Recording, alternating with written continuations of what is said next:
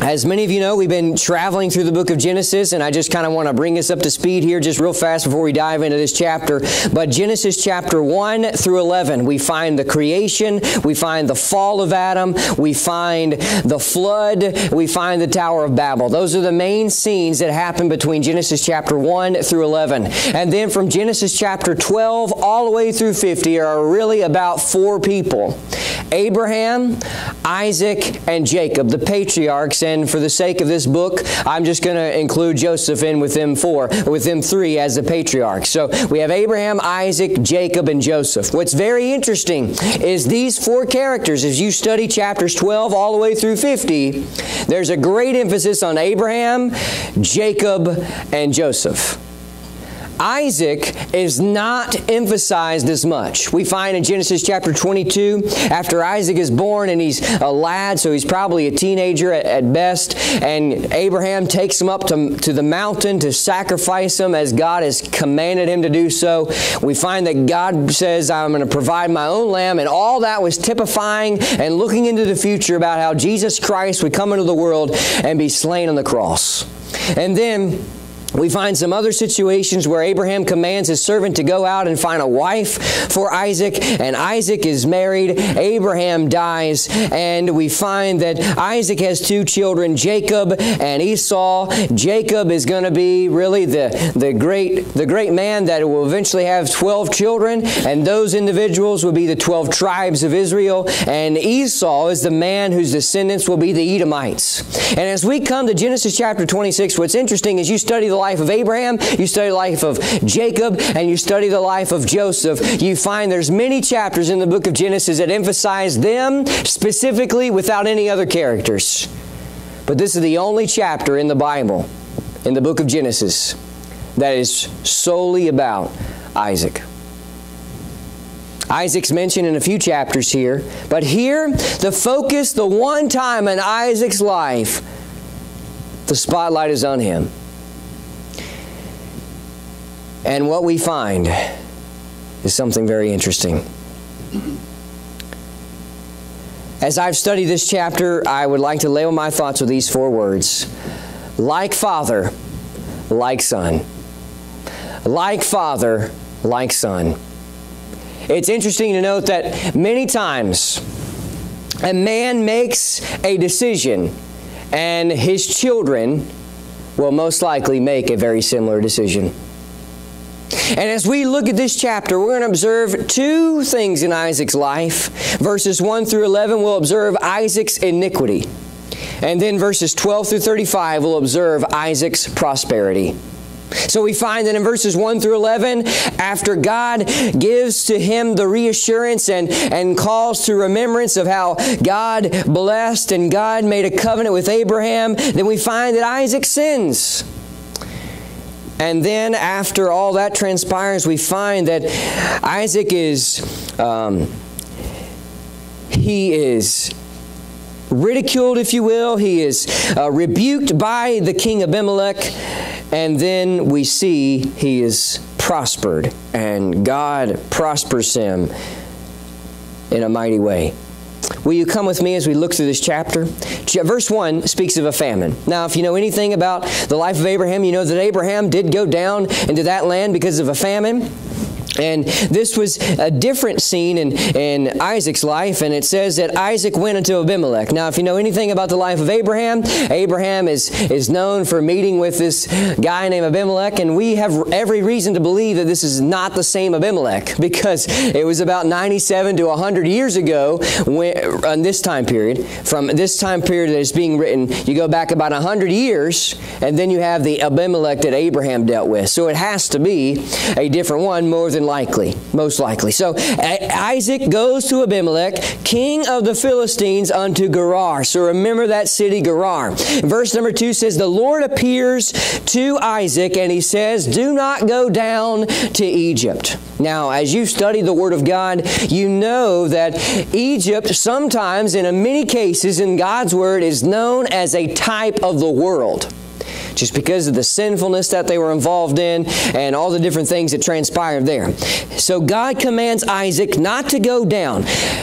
Abraham made a mistake by going down into Egypt. God did not necessarily want him to go down, so Abraham did that, uh, we believe, a couple times. And then God tries to warn Isaac not to do the same thing.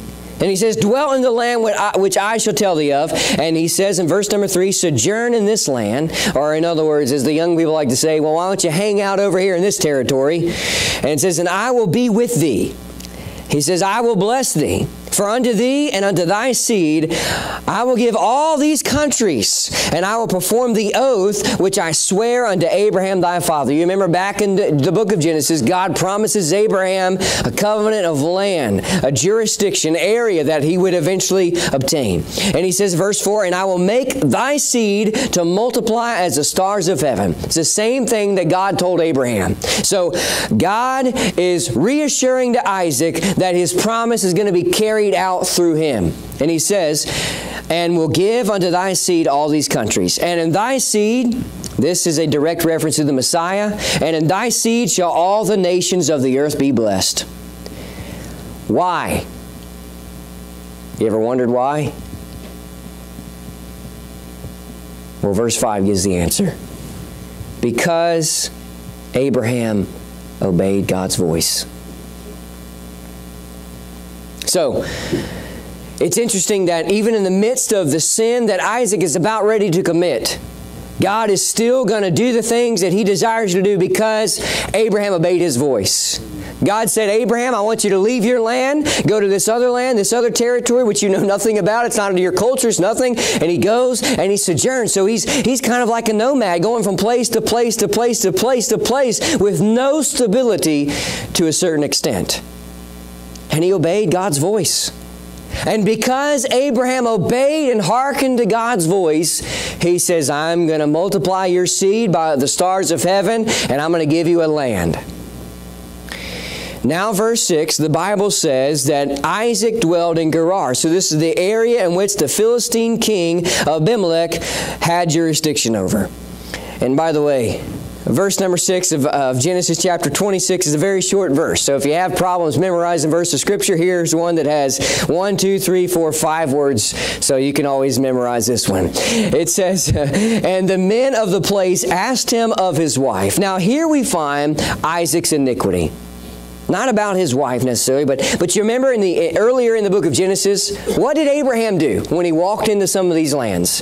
He said, Hey, Sarah, we're going to tell these people that you're my sister which was a partial truth because Sarah was Abraham's half sister, but she was also his wife. And this happened twice. And here, like father, like son, Isaac makes the same mistake. He says, And the men of the place asked him of his wife, and he said, She is my sister. Now, I've done as much research as I could possibly discover, and please correct me after the service if I'm wrong, or maybe if you know, raise your hand right now. But I cannot find any resource that proves that Rebecca was a half sister or a sister of Isaac. They might have been distant relatives, but they were not half brothers and sisters. And here we find that Isaac deliberately lies to these people. And the reason why is found in this verse 7. For he feared to say, She is my wife, lest, said he, the men of the place should kill me for Rebekah, because she was fair to look upon. So, Rebecca was apparently a very beautiful woman to look upon. And he was afraid that he walks into this area where the Philistines are and Abimelech the king, they're going to see her and they're just going to kill him. So we find that, that in, in, in this area, Isaac sins by lying to Abimelech. Verses 1 through 5, we observe God's covenant with Isaac, which was really God's covenant with Abraham, and then he just reassures it's going to happen through him. Verses 6 through 9, we read about Isaac lying to Abimelech. And I'm here to remind us all, just as we learned back in Abraham's situations, a partial truth is a whole lie. And here we find that a lie is a lie no matter what the motive is. It's a lie, and the Bible says, Thou shalt not bear false witness. You know, I was talking to some people one day, years ago, and they say, you know, the Bible doesn't say thou shalt not lie. It says thou shalt not bear false witness.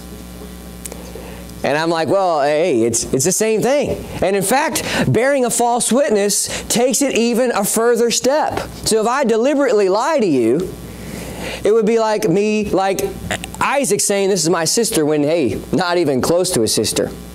But also, bearing a false witness is what Abraham did. And he said, Hey, she is my sister. Which she was a half sister, was a partial truth, and just not the whole truth. So, bearing a false witness gives more than a connotation of just downright lying. It can be deception to deceive and try to, to not tell the entire truth. And that's what Isaac is doing here. And as we look at this passage, what I like about this example is that the perfect God can use imperfect people. the perfect God can use imperfect people. And even though Isaac sinned and Abraham sinned against God, God still reached out his hand and used them to further his will. So I'm thankful today that, hey, hey, we've all told a lie before. We may, we may not have stood in front of President Obama and said a downright cold turkey lie to him, kind of like what, uh, what uh, Isaac does here in this text with, with this king. But nonetheless, we have all said a little white lie here or there, or a fool lie, if you will. So may God help us to be reminded that lying is sin against God, and may God help us to tell the truth. Verse 8 says, It came to pass that when he had been there a long time, that Abimelech, king of the Philistines, looked out at the window and saw, and behold, Isaac was sporting with Rebekah, his wife. You know, I, I'm real. I, I'm into sports like some of you are. And what's interesting is sometimes you, we talk about sports and we ask, you know, I've done this with young people sometimes. I was like, can you name any verses of Scripture that talk about sports or use the term sport. And here we find one example. This term sport is used throughout the Old Testament on numerous occasions. Then in the New Testament, we find Paul likens the Christian life to a race, to like a marathon. So sports uh, were used in those societies, but here, sporting is not what you and I are think of sporting. It's not the Atlanta Braves playing the Baltimore Orioles. It's not the New York Giants playing, uh, you know, the Washington Redskins. It's not this type of sporting. Here, in this context, it's, it's, it's, it's a kind of like a way that a husband would have with his wife and just they're out, uh, you know, having a good time and they're they're doing these things and Abimelech says hey hey if this is your sister then why are you you know doing this with your wife or excuse me, with, with your sister. And Abimelech called Isaac and he says, Behold, of a surety she's your wife. How sayest thou she's my sister? And Isaac said unto him, Because I said, lest I die for her. So here, sporting just simply gives the connotation of not, not the sports that we're talking of, but, you know, just the way that a man and a wife would maybe hold hands together or hug or do those types of things. Okay? And here Abimelech says, hey, this has definitely got to be your wife, not your sister. And so, for this reason, we read in verses 10 and 11 Abimelech rebukes Isaac. And he says, What is this thou hast done unto us? One of the people might lightly have lied with thy wife, and thou shouldst have brought guiltiness upon us. And Abimelech charged all his people, saying, He that touches this man or his wife shall surely be put to death. Verses 1 through 11 speaks of Isaac's iniquity. And his iniquity was lying. So may God help us not to lie, no matter the motive behind it verses 12 through 35. There's a different emphasis here. The kind of the scene transitions and it speaks of Isaac's prosperity. Oftentimes, in our Christian New Testament mindset, and even through the, the Old Testament, when somebody sins against God, you automatically assume that, hey, the cursing of God is going to thunder down upon them. And yes, that does happen. But in this case, uh, the Bible doesn't really necessarily say here, but at some point between verses 11 and 12, there was a transition. There was a break here. I firmly believe that. And perhaps Isaac, you know, got things right with God at some point between these occurring events. Nonetheless, the Bible doesn't say you kind of have to read between the lines there.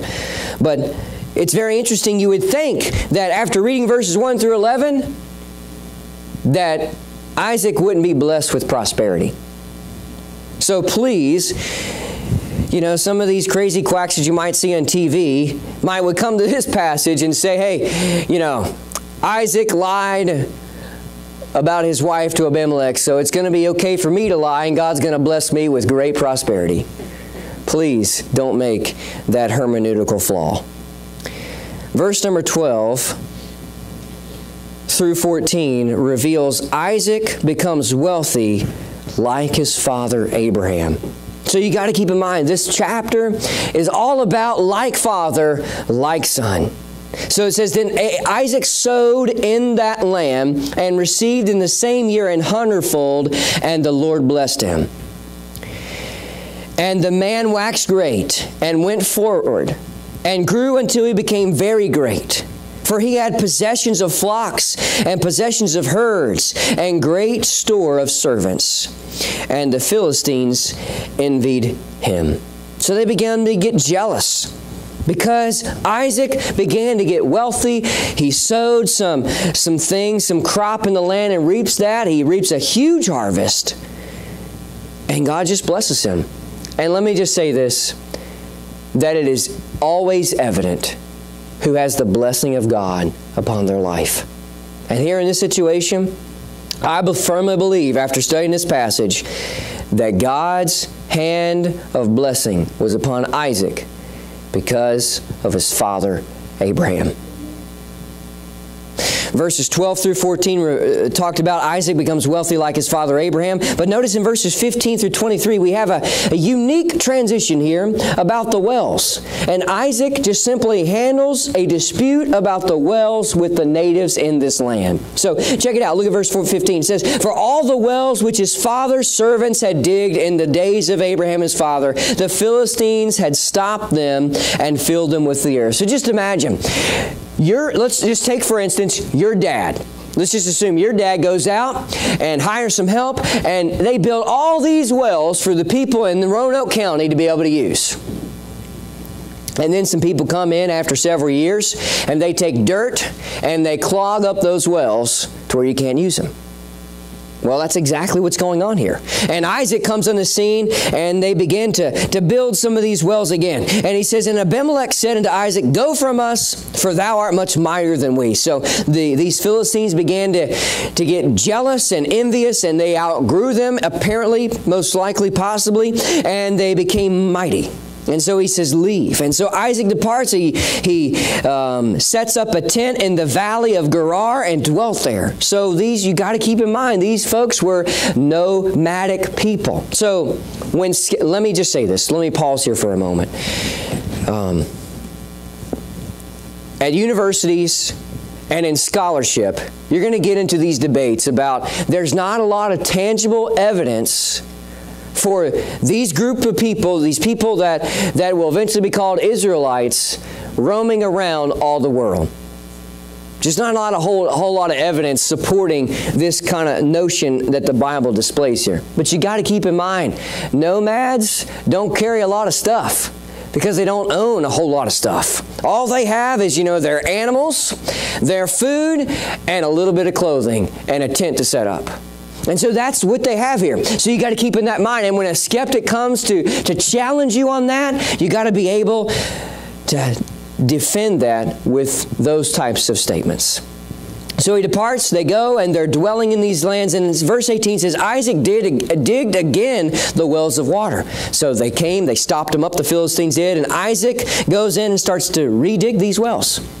And sometimes, um, just like in the ministry, we have to get back out in that field and redig. Sometimes we have to get back in the field, the harvest field, and plow that ground again because sin and the opposition towards God's Word has come and just flattened out the group of Christians that used to be there. So sometimes we have to go in and work again. If you were to go back 300 years ago, or really maybe even 100 years ago, the concept of missionaries going to Europe and the United Kingdom and England was, was a, a far cry. You crazy talk. It's like missionaries in the United States of America. 50 years ago, you'd be like, well, you know, lost your mind. But now, hey, we're sending missionaries to Europe, the United Kingdom, and let's just face it, we need missionaries in the United States today. Because the Word of God, the harvest field, is becoming rock solid. And we need to get back out there. So here we can kind of look at this and, and kind of apply that into our own lives. But here, nonetheless, he says, Isaac redigs these wells they digged in the days of Abraham his father. For the Philistines stopped them after the death of Abraham, and he called their names after the names by which his father had called them. Look at verse 19. Isaac's servants digged in the valley and found there a well of springing water. The herdmen of Gerar did strive with Isaac's herdmen, saying, The water is ours. And he called the name of the well Esek, because they strove with him. Now, a lot of commentators have said some things about these different wells, so I'm just going to share with you what they've said. They, so we have mentioned in verse 20 Esek. Then we have another uh, well, which is mentioned Sitnah. And then we have another well mentioned in verse 22, Rehoboth. Esek, some commentators have noted, stands for contention. Sitnah stands for contempt and or enmity. Rehoboth stands for the world's carelessness towards Christ and also plenty of room.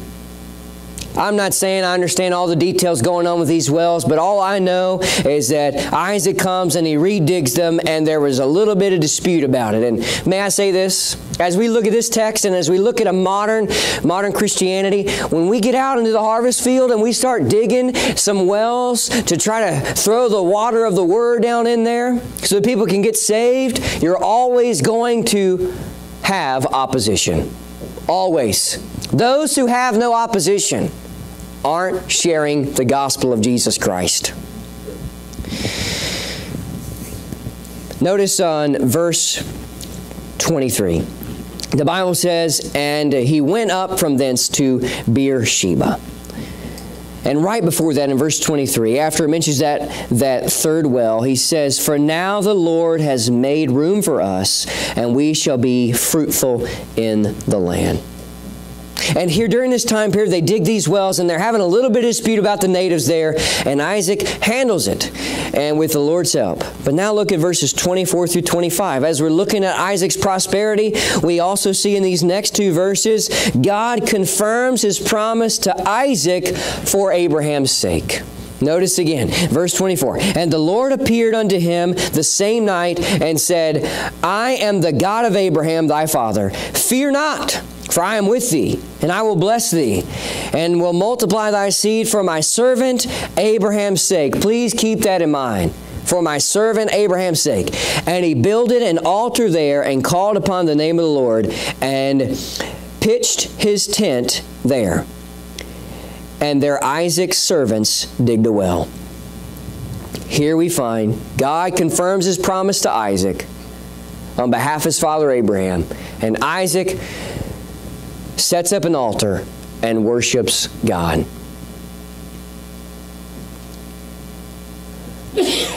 the most prosperous man in the world are those who worship God in spirit and in truth. And that's what we need to get back to. It's just worshiping God. Get the focus off man and get the focus on God. Whenever our focus is on man, bad things happen. But when our focus is on God, God pours out His Spirit and blessing upon us. So, as we're looking at Isaac's prosperity, we find he became wealthy like his father Abraham. We find this passage talks about him disputing uh, about the wells with the natives. We find that God confirms his promise concerning his father's sake, Abraham. But now look at verses 26 all the way through 31. In these next several verses, we find the natives come and make peace with Isaac because the Lord was with them, just as happened like his father Abraham. Remember, like father, like son. Like father, like son. Like Abraham, like Isaac.